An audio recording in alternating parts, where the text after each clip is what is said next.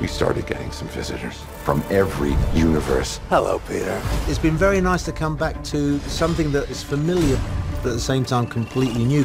You're not Peter Parker. I am so confused right now. 20 years since his Green Goblin. 17 years since my first time as Doc Ock. What was your name again? Dr. Otto Octavius. Seriously, what's your actual name? You got another chance to stir some things up. How you like the new-new?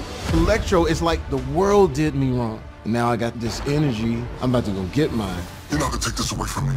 Doc Ock picks up where he left off. What have you done with my machine? He's looking for revenge. You want to play games? The Goblin believes in a world of losers and winners. Power is all that matters.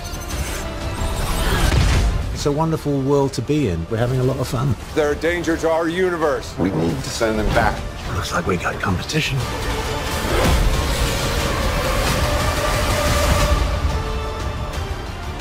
I think people are going to be really surprised. They're going to marvel.